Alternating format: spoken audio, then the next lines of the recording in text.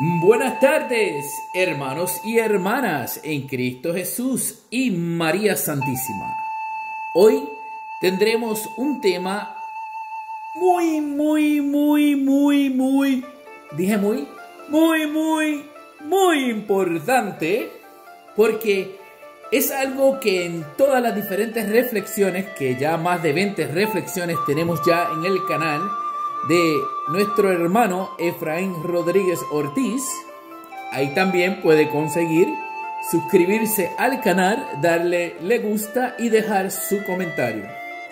Hoy vamos a entrar en un tema que para mí es como si fuera de los favoritos, aunque hay tantos que, bueno, el más favorito de todos es la Eucaristía. Y entonces a ese vamos a llegar un día de esto. Pero que hoy, para llegar a la Eucaristía, tenemos que pasar y atravesar por la reconciliación. Y entonces en esta tarde estamos agarrándole unos minutitos de su tiempo para ir discutiendo y hablando con la Biblia este, en mano, la Biblia latinoamericana con letra grande eh, para ir hablando sobre estos textos bíblicos que hemos ido hurtándole al padre Luis Toro y que a él no le va a molestar que se lo hurtemos porque la idea es que nosotros sigamos difundiendo estos conocimientos que se nos traen a través de estas diferentes charlas y también tenemos que hacer la parte nuestra. Es más, vamos a decir una cosa. Yo, yo me voy a imaginar que yo estoy estudiando y como estoy estudiando, ustedes pues están escuchando al loco ese, que es lo que está diciendo. Y así de esa manera pues lo aprovechamos. Lo aprovechamos para aprenderlo y también usted agarre lápiz y papel para que a ti, así de esa manera, pues este, anote las citas bíblicas. Así que vamos a comenzar. Eh, son nueve puntos. Y si cree que ya este, es mucho tiempo el que va a dedicar, pues mire, lo más que hay son canales por ahí. Pero escuchen, al final le va a fascinar porque lo que con mucho sacrificio le ha costado a otras personas, es lo que vamos aquí a aprender y ayudar a otros hermanos que también pueden estar separados de la verdad, de la verdadera iglesia y así de esa manera pues vamos aclarando algunos puntos. Pues vamos primero con Jeremías y ah, puse aquí una nota antes de irnos a, Jeremías. Dice, esto tiene como intención aclarar dudas y entregarles citas que puedan ser instrumento Ah, y, de, y de defensa, perdón, y también en especial calentar a todos aquellos que se han dejado tibiar y dejarlos listos y preparados para el sacramento de la reconciliación. Eso es difícil a veces leer la propia... Cuando uno escribe rápido, a veces uno mismo no se puede entender. Pero esperamos que aquí podamos entendernos a través de esta charla que vamos a tener en esta noche. Vamos primero a buscar Jeremías 17, capítulo 5. Así habla Yahvé. Maldito el hombre que confía en otro hombre. Y esto lo podemos escuchar por ahí en muchas diferentes eh, sectas protestantes que hasta ahí se quedan. Hasta ahí se quedan, no quieren seguir el texto. Y cuando seguimos el texto, nosotros decimos eh, que busca su apoyo en un mortal, hasta ahí se quedan, y que aparta su corazón de llave. Cuando nosotros leemos el texto sin terminarlo y lo cortamos, lo sacamos de contexto. Te animo a que busques la Biblia, búscala y que vayas marcando en ella para que así de tal manera vayas conociendo nuestra fe, tu fe, y que también así la puedas ir defendiendo. Nos vamos a brincar a la primera carta de Juan, número 2, y vamos a ir del 8 al 9. Si decimos que no tenemos pecados, nos estamos engañando a nosotros mismos y la verdad no está en nosotros.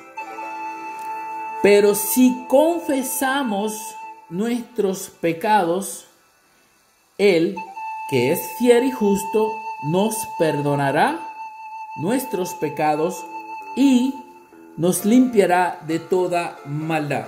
Y tú te quedas así como pensando, espérate una cosa, aquí me dice que tengo que confesarme, pero me tengo que confesar con Cristo, pero Cristo lo dejaron pegado en una cruz allá en el año 33. Y bueno, sí, resucitó, pero él se fue con el Padre. ¿Cómo yo voy a lograr a ir a confesarme? Pues no te, no te impacientes, no te impacientes, que vamos a llegar a eso. Dice, cuando reconozcamos la verdad en la palabra de Dios, como dice en esta carta, tendremos la necesidad de irnos a confesarnos. ¿Por qué? Porque nos dice, si decimos que no tenemos pecados, nos estamos engañando. Y es lo que está pasando con muchos seres humanos en nuestra propia iglesia. Que pregúntele cuándo fue la última vez que se confesó. Y tal vez te va a decir, no, yo hace como siete meses que no me confesé, me confesé porque vino un sacerdote de otro país y como ese no me conocía a mí, pues entonces ahí yo fui a confesarme y a mí no me dio vergüenza ni nada de eso, y, pero no ha venido más nadie de afuera y no me he vuelto a confesar. ¿Y qué está, qué está pasando? Estamos viviendo una tibiedez, o sea que nos estamos como poniendo tibios y nos estamos dejando endurecer nuestro corazón. Cuando nos dice pero si confesamos nuestros pecados, Él que es fiel y justo nos perdonará. Si no lo va a confesar, hermano y hermana, se te va a hacer cuesta arriba, cuesta arriba. Vamos al tercer punto. Vamos aquí, por aquí, por aquí, con la Biblia. Dice, ok, aquí dice esta parte que es la oración que todos sabemos. Dice, danos hoy el pan que nos corresponde, el Padre nuestro, y perdona nuestras deudas como también nosotros perdonamos a nuestros deudores. Y no nos dejes caer en la tentación, sino líbranos del maligno. Pero si ustedes perdonan a los hombres sus ofensas, también el Padre Celestial les perdonará a ustedes. Y escuchen esa parte muy importante. Si ustedes perdonan a los hombres sus ofensas, también el Padre Celestial les perdonará a ustedes. Pero si ustedes no perdonan a los demás, tampoco el Padre les perdonará a ustedes. Así que mire, ¿qué me dice este capítulo a mí de Mateo 6, al versículo del 11 al 15, que me dice a mí, me dice claramente, si no perdono a quienes mataron a Jesús en la cruz, no quiere él saber nada de ninguno de nosotros. O sea, no vengan ni a pedirme perdón chorro de descarado.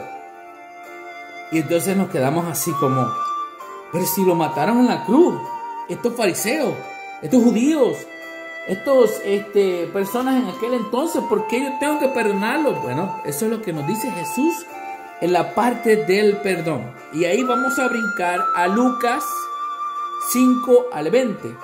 Dice, viendo Jesús la fe de estos hombres, dijo al paralítico, Amigo, ¿cómo nos habla Jesús? Qué bello, qué bello nos habla Jesús.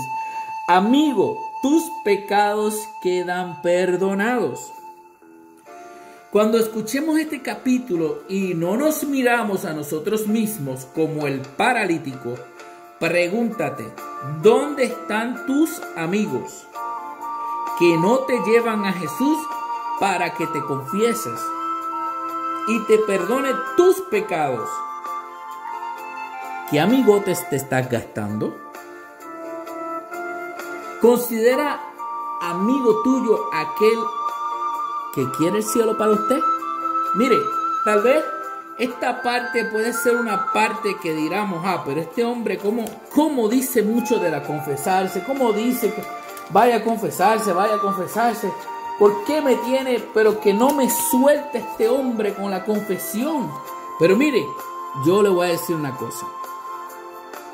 Para mí, si hay una persona que está viviendo en pecado mortal y si quiero ser su amigo, la mejor manera de mostrarle a esa persona que quiero ser su amigo es decirle que se confiese. ¿Y dónde se va a confesar? ¿Y con quién se va a confesar? Ahora vamos a brincar al Levítico 16, 20 al 22 del Antiguo Testamento para que veamos quién es aquel que va a limpiar esa parte del pecado. Dice Levítico 16, 20 al 22. Acaba la expiación del santuario de la tienda de las citas y del altar. Aarón presentará el macho cabrío vivo, imponiendo ambas manos. Escuchen esta parte de imponer las manos, porque en otros temas vamos a volver a tocar esa parte de imponer las manos sobre la cabeza del macho cabrío vivo. Hará confesión sobre él de todos los pecados de los hijos de Israel. O sea que antes se ofrecía ese cabro y ahí el sacerdote era ese medio y ese punto de ofrecer a ese cabro para la expiación de los pecados de todo el pueblo de Israel. Antes era masa, pero qué chévere, ¿verdad? Si fuera así ahora, ¿no? Dice, no, vamos todo el mundo aquí, reúnese, ahí los asuelvo a todos de una vez. Y he escuchado también sacerdotes que han estado en situaciones de aviones que se han preparado para hacer una confesión así en masa, porque también existe en algunos grupos que, que puede ser aceptado. Y hoy día no es así, hermano. Hoy tenemos que ir nosotros a confesar nuestro pecado. Los hijos de Israel, continuó diciendo, tan, tanto de sus maldades como de sus faltas, y después de cargarlas sobre la cabeza del macho cabrío, lo enviará al desierto por medio de un ayudante. Así el macho cabrío llevará sobre sí todas las maldades de ellos hacia un lugar árido, y el que lo lleve lo soltará en el desierto. ¿Y qué pasa con la persona que lo suelta en el desierto? Normalmente mueren porque no hay agua y no hay que comer y así mismo va a morir el pecado. Entonces vayamos al sexto punto. Ya nos quedan tres, ya casi acabamos con esto, ¿no? Dice el Levítico 19, 22. Con este carnero el sacerdote hará reparación por él ante Yahvé, por el pecado que cometió y se le perdonará el pecado. Decía que en Levítico 16, el anterior, dice aquí las notas que no creo que la leí, ¿quién es el que hará la confesión? El sacerdote. Muy importante escuchar la palabra de Dios. Esta no son mis palabras, por eso le estoy diciendo, busque su Biblia, léalo. Y el Espíritu Santo que hay en usted ayudará a reconocer una verdad. El punto 6, el que acabamos de leer ahora en Levítico 19, 22. El sacerdote hará reparación por él. Aquellos que ya... Oh, ah, esto fue una parte aquí como un paréntesis, ¿no? Aquellos que ya me conocen por algunos años sabrán que soy veterano. Nunca le he dicho lo que hice en el Army. Pero hoy les quiero decir a todos que a nosotros nos educaron y entrenaron para estar alerta a los secuestros. Y eso fue que solamente fui un técnico de reparación de helicópteros, de asalto y espías. Hoy día nosotros tenemos entre medio de nosotros un sacerdote que para, para todos nosotros esa es la puerta de reconciliación. Es como si fuera esa puerta para nosotros llegar directamente al cielo.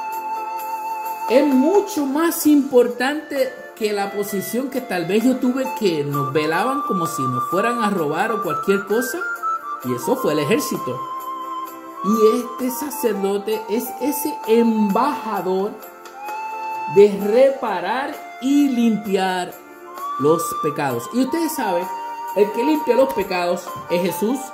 Él es el, él es el que está ahí representándolo a través de esa imposición de manos que hasta hoy día tenemos la constancia de que estos sacerdotes fueron que si usted busca al padre Fajardo, alguien le impuso las manos al padre Fajardo y ese obispo que le impuso las manos a él, tuvo otro obispo y así va buscando en escalera hasta que llega a uno de los doce apóstoles o hasta el mismo eh, Pablo. Y así sucesivamente hasta los primeros padres de nuestra iglesia. En el punto número 7 tenemos aquí otra parte muy importante que nos habla sobre, oh, dicho esto, mira lo que estábamos empezando a hablar sin llegar al punto. Dicho esto, sopló sobre ellos y les dijo, reciban el Espíritu Santo. Esto es Juan 20, del 22 al 23 reciban el Espíritu Santo, a quienes descarguen de sus pecados serán liberados y a quienes se los retengan les serán retenidos. Esto es, mire, está en la Biblia, esto es palabra de Dios, esto no es palabra de Efraín Rodríguez Ortiz, así que busque su Biblia, léalo Dicho esto, Jesús, Jesús, Jesús fue el que dijo esto, ¿no? Si lo leemos del 21, Jesús les volvió a decir, la paz esté con ustedes. Como el Padre me envió a mí, así los envío yo también. Dicho esto, sopló sobre ellos y les dijo, reciban el Espíritu Santo. A quienes descarguen de sus pecados serán liberados y a quienes se los retengan les serán retenidos. Esto es un momento que tenemos que tomar en serio. Esto es palabra de Dios, esto no es palabra mía. Esto es un mandato de ese Jesús que seguimos para que nosotros realmente encaminemos nuestra vida a restaurar eso que nos separa de esa gracia con Dios. Y mire, aquí nadie tiene, no, nadie es nadie aquí para estar apuntando los dedos y demás. Por eso es que si nos vamos a donde Santiago, a mí me encanta como Santiago lo dice en su carta, capítulo 5, versículo 16. Cuando Santiago nos habla, y recuerden esto, hombres son de la misma materia que nosotros y Él nos llama a la humildad y a rezar y a mantenernos unidos. Y dice así el capítulo 5, versículo 16. Reconozcan sus pecados unos ante otros y recen unos por otros para que sean sanados. O sea, que hay que velar por la santidad de nuestros hermanos en la iglesia. Si usted no está velando por la santidad de nuestro hermano, ¿qué es lo que usted está yendo a la iglesia a velar? ¿Qué es lo que usted está yendo? ¿De quién se está preocupando usted? Usted no puede estar todo el tiempo ir a calentar un banco. Así usted piensa que va a llegar al cielo directito cuando al lado suyo tal vez hay alguien que necesite de su ayuda. Mire, y si tal vez usted no es la persona que pueda predicarle, pues mire, por lo menos tal vez usted es la persona que Dios pone ahí para que a través de usted lo lleve a alguien que pueda entonces lavar la ropa sucia y ayudarlo con ese problema, hablar con él. Mira, en la iglesia de Holy Spirit tenemos ahora una señora que viene a escuchar todos nuestros problemas si queremos y, le hacemos una descarga allí. Ella no puede confesar, pero mira, nos prepara y vamos, ¡boom! Y nos vamos y confesamos con el Padre Fajardo o con un sacerdote. Y así mismo nos dice Santiago, nos dice de esa manera tan humilde, seamos sencillos, seamos humildes, preocupémonos porque todos puedan entrar por la puerta angosta, como nos dice el Señor. Y entonces, eh, en Hechos de los Apóstoles, 19, 18, nos habla aquí en los Hechos de los Apóstoles, dice, oh, perdonen, dicen, ok, muchos de los que habían aceptado la fe venían a confesar y exponer todo lo que antes habían hecho. Yo lo voy a llevar un poquito más largo. Acuérdense que estamos hablando de la reconciliación. Pero miren, lo voy a llevar un poquito más largo porque dice, no pocos de los que habían practicado la magia hicieron un montón con sus libros y los quemaron delante de todos. Calculando el precio de los libros, se estimó en unas 50 mil monedas de plata. Vuelve otra vez el dinero aquí. De esta manera, de esta forma, la palabra de Dios manifiesta su poder y se extendía y se rebustecía. Acuérdate que el libro del Hecho de los Apóstoles es ese libro de esa iglesia que está comenzando, ¿verdad? Y mire, al comienzo existía estos libros, existía todo esto de brujería y todo lo demás. Mire, cuando yo escucho esto y camino por las calles de la ciudad del Bronx y veo tanta botánica, me doy cuenta de que muchos de los que están practicando esta brujería no han leído la parte del hecho de los apóstoles, capítulo 19, versículo 18. 18 al 20. Léalo. ¿Qué usted cree que pasaría con aquellos cristianos que quemaron todos esos libros? Dígame usted. Abrazaron la fe, queman los libros, dejaron el pecado atrás y todo, toda su maldad atrás. ¿Qué usted cree que pasaría con ellos? ¿Y qué va a pasar hoy día con los que siguen yendo a las botánicas? Y de eso conocemos mucha gente. Mire, si nosotros realmente creyéramos en la palabra de Dios, si creyéramos en todas las, todas las cosas que están aquí en este libro y eres católico, estarías buscando cómo convertir a un brujo. Y tú vas a decir, ay no, ese brujo no me meto. Pero, ¿y quién contra Dios si usted está con Dios? ¿Quién va a poder? Hermanos y hermanas, Esperamos que esta charla, un poquito larga, pero espero que les pueda ayudar a todos ustedes para que empecemos a enderezar ese camino. Eh, busque la Biblia, escriba, vuelva a dar rewind eh, al video, escriba los textos y así podamos este, seguir defendiendo nuestra fe. Una y otra buscando que todos los que nos rodeen estén buscando esa santidad. Porque mire, si usted supiera, si usted supiera, si usted le da un chance de ir al cielo, usted se va a sentir en el cielo con tanto santo y tanto ángeles. Usted se va a sentir, mire, usted se va a sentir. Mire hermano y hermana, usted se va a sentir como que está, bueno, e, está en la gloria, está en el cielo.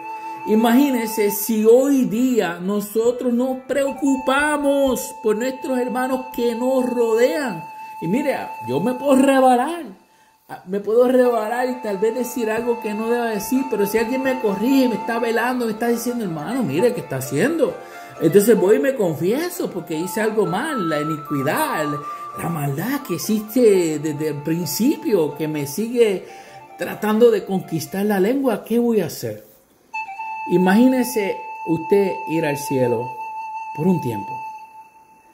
No va a querer regresar. Jesús vino a esta tierra para que ese cielo esté aquí en la tierra. Y va a estar aquí en la tierra a través de ti y a través de mí.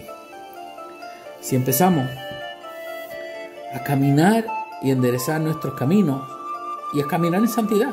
Porque mire, usted dice, no, yo no soy santo. Claro, yo tampoco. Pero si no estoy viviendo en pecado mortal, estoy acercándome a un nivel de santidad. Y eso es lo que tenemos que buscar para seguir llevando esto a las próximas generaciones. Que todo esto pues le haya servido.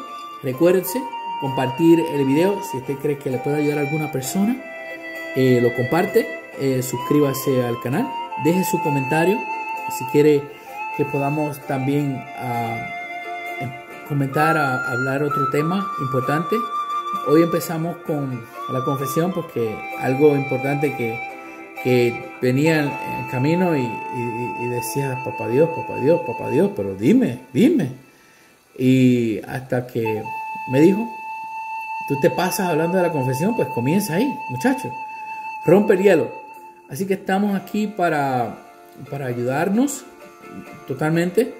Eh, y como le dije anteriormente, si le gustó el video, dele like, compártalo, eh, suscríbase y que tengan una hermosa noche. Y pronto nos veremos así en la reflexión de mañana sábado.